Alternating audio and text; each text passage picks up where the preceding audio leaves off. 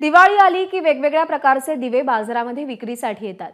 मात्र शंभर वर्ष जुने दिवे तुम्ही कधी पाहिलेत का? आपल्या पूर्वजांनी वापरलेले पेशवेकालीन आणि आदिवासींनी वापरलेले दिवे कसे होते? त्या दिव्यामध्ये नेमके कोणकोणते प्रकार होते? हे आपल्याला अनेकांनी पाहिलेलं नाहीये. हे दिवे शंभर वर्षांनंतरही पुण्यातील राजा दिनकर केळकर संग्रहालयामध्ये जपून ठेवण्यात आलेत. दिवाळीनिमित्त याच प्राचीन संस्कृती जपणाऱ्या दिव्यांची नेमकी काय परंपरा आहे? आपण पाहूया. दिवाळी म्हणजे दिव्यांचा सण रोषणाईचा सण परंपरा ऐतिहासिक ठेवा आणि संस्कृती जपण्याचा क्षण. प्रत्येकाच्या घरी रोषणाई दिसते आणि मी सध्या आली आहे पुण्यातल्या राजा केळकर संग्रहालयात.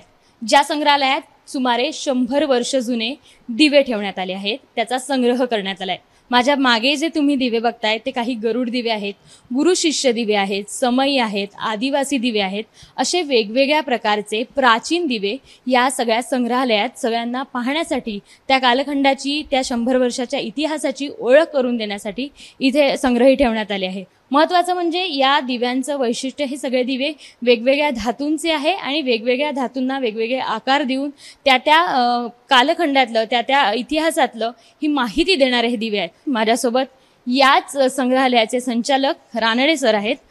सर साधारण किती वर्ष जुने हे सगळे दिवे आहेत आणि किती दिवे आहेत? साधारण दोन एकशे दिव्यांचा हा संग्रह आहे आणि मला सांगायला आनंद होतो की संग्रहालय पाहणं हे जसं महत्त्वाचं आहे तसं एका बाजूला वस्तूंचा संग्रह हा दिवसेंगणित वाढत चालला आहे आणि आता एकूण कलेक्शनच्या अकरा टक्के वस्तूच आम्ही प्रदर्शित करू शकलो आहे संग्रहालयाचा विस्तार व्हावा विकास व्हावा यासाठी राजाश्रय आणि लोकाश्रय मिळणं ही काळाची गरज आहे. त्या दृष्टिकोनात देखील संग्रहालयाचे प्रयत्न चालू आहेत. आपण जसं बाजारात आत्ता बघायला गेलो तर वेगवेगळ्या प्रकारचे दिवे आपल्याला बघायला मिळतात. मात्र हा जो प्राचीन ठेवा आहे हा प्राचीन ठेवा जपण्याचं काम हे केळकर म्युझियमचे सगळेजण करत करतायत. आणि त्यासोबतच एबीपी माझ्याच्या सगळ्या प्रेक्षकांना या दिवाळीनिमित्त ही खास दिव्यांची सवर आम्ही घडवत आहोत. कॅमेरामन राजेश बिडकरसह शिवानी पांढरे एबीपी माझा पुणे.